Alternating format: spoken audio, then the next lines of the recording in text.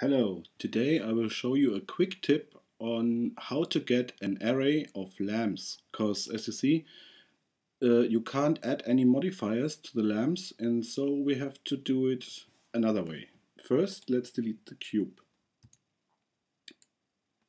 Then shift A, add a plane.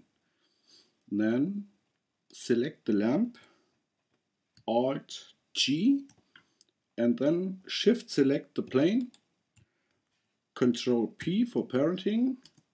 So now the lamp is parented to the plane. And now all we have to do is go into the object data of the plane and click duplication faces. That will duplicate child objects on all faces and we only have one face so we only get one lamp. Oops. But if we go to the modifiers tab now, which is uh, now uh, enabled for the plane, we can add an array modifier. Let's take the count up to 5 and copy that. The x direction let's set to 0 and the y direction to 1. So we have our array of planes and as we see now there are no lamps in the copies.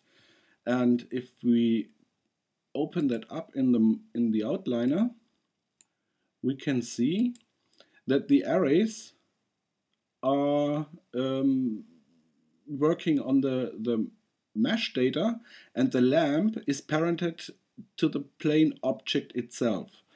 So to let the array modifiers um, influence the lamps, we have to apply them. So apply the first, and then you see we get five lamps, and apply the second, and we have the array in the y direction. And now let's add another plane. Shift A, mesh plane, scale it way up as 100.